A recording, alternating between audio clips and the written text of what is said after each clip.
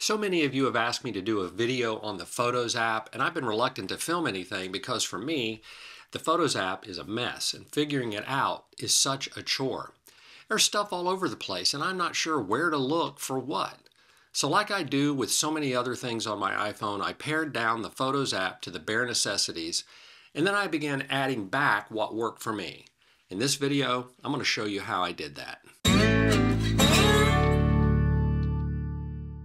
Hi, my name is Rich. If you're anything like me, when you downloaded iOS 18 onto your iPhone and then opened the Photos app, your head started spinning.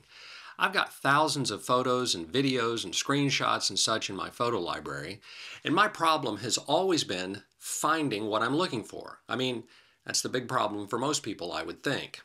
Anyway, I spent a few days trying to figure everything out, thinking I'd make a quick video to help the folks who tune into this channel. But honestly, I hit a roadblock. I finally dug back in and here we are. But let me say up front, this video will not cover all the aspects and functionality of the Photos app. That would take a two-hour movie. But it is designed to help you not only get a handle on using the Photos app, but actually dig up a gem or two that I suspect you'll find very helpful.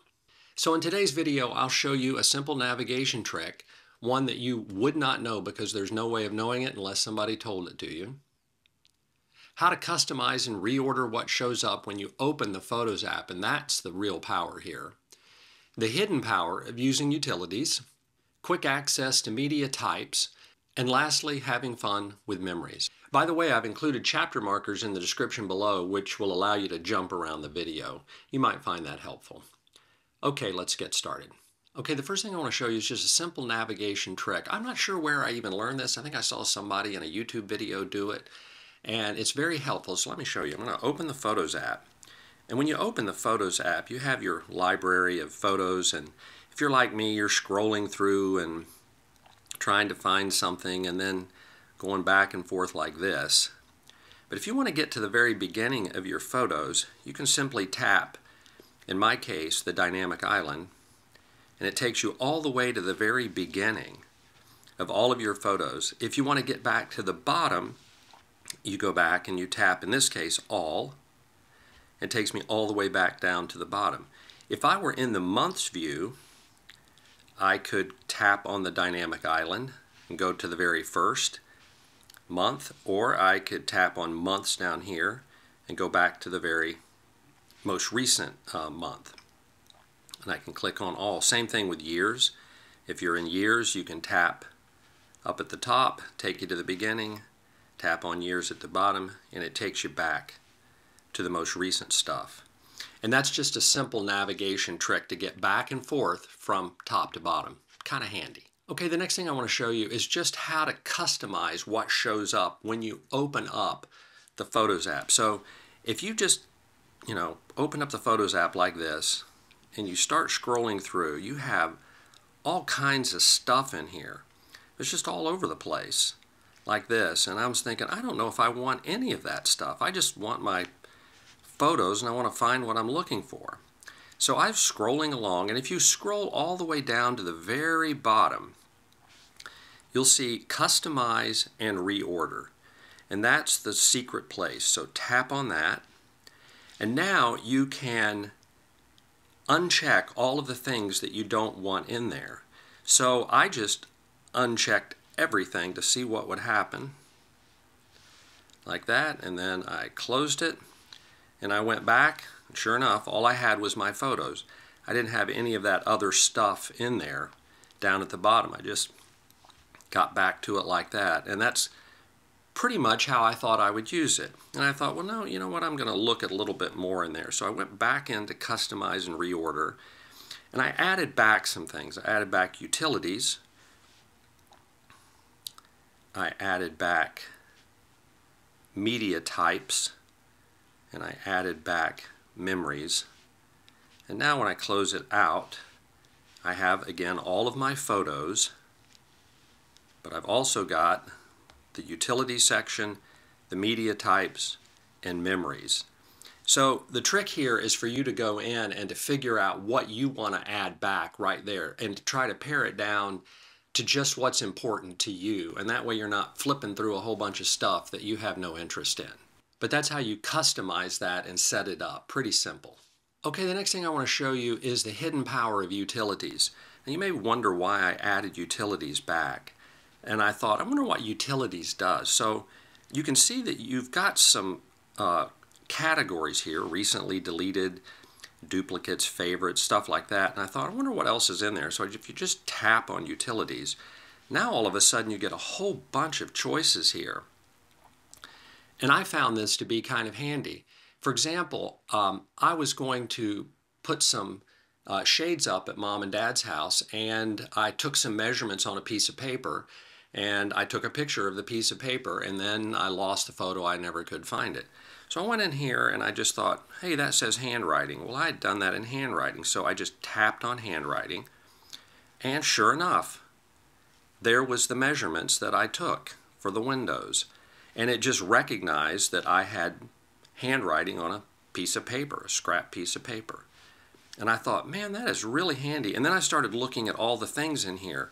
Where did it see handwriting? Well, I was at a restaurant and for some reason took a picture of that, and that's in handwriting.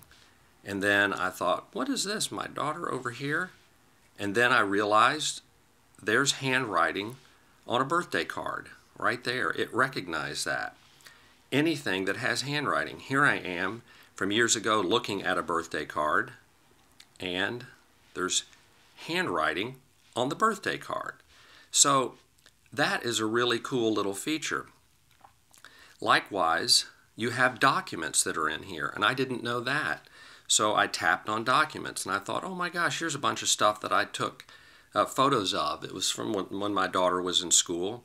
I did the Richard Petty driving experience down in Florida, and I took a picture of the certificate, and there it is. It's a document.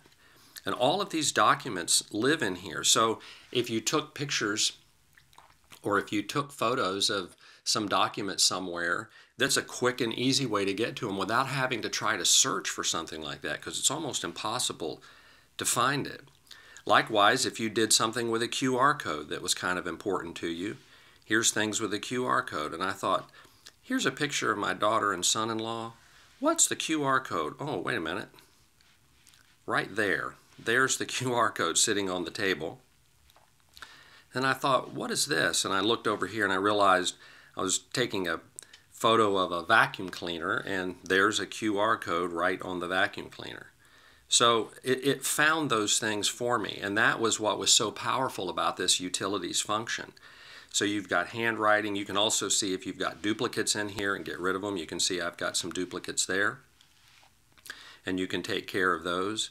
You can look at documents. You can look at things that you've imported. And you can go down to map. And that's kind of interesting. So here it's found that I've taken a whole bunch of pictures over here on the East Coast. But I also was in Denver recently, and it just found the photos that I took in Denver. So they just showed up there, and I can do that all by looking at the map. And so that is the power of utilities, and for me, that's going to be something that lives in the Photos app. Next thing I want to show you is media types. And I wasn't sure whether this is something that I would want or not, but I added it in here. So I got utilities there, I've got media types here, and if you tap on media types, now you have a whole bunch of options here.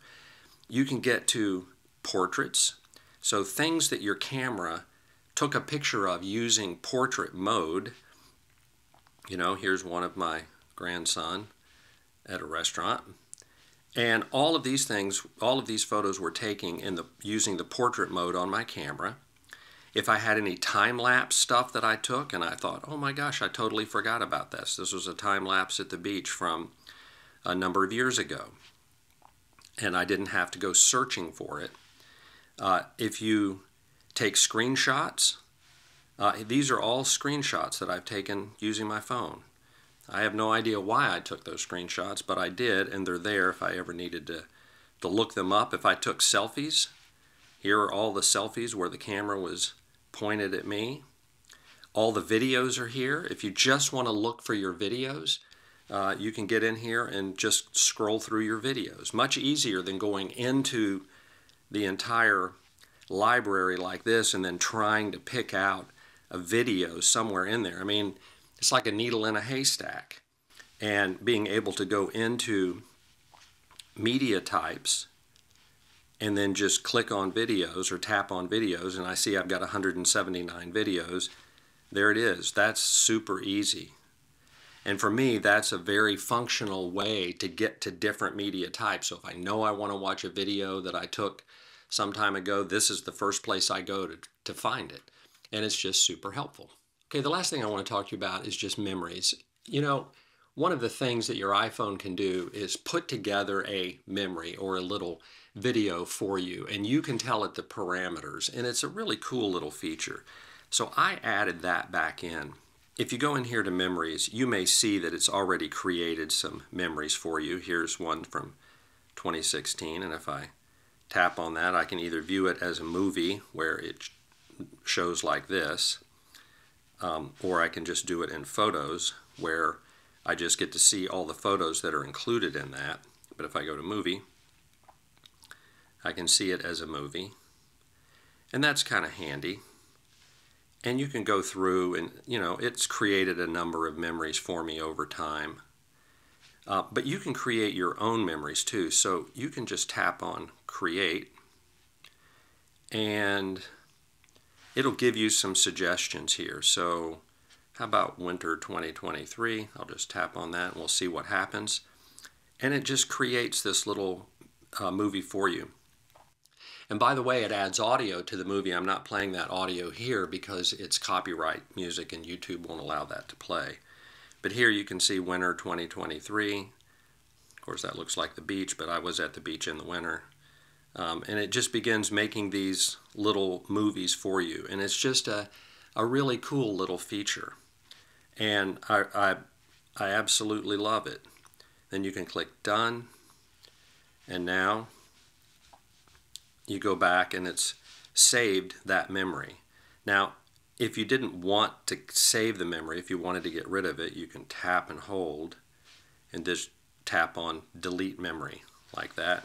And then it'll ask you if you want to delete it. I think I'm going to save that one, so I'll just hit cancel. So for me, I have all my photos up here, and then I've chosen to add utilities, media types, and memories. But again, it all comes together down here and customize and reorder. And you can add them in here. Now, the interesting thing about this is that you can grab these. You see these little three lines over here. You can grab that and just drag it up. So if you want memories at the top, and then media types, and then utilities, you can do that. And then when you tap the little X, now you have memories at the top, followed by media types, followed by utilities. So you can not only choose what shows up, but the order in which it shows up. Super, super handy. I know that was a lot to take in, but I do hope these tips will get you the most out of the Photos app, or at least tame the Photos app. Okay, that's it for today. Thanks so much for watching, and I'll see you in the next video.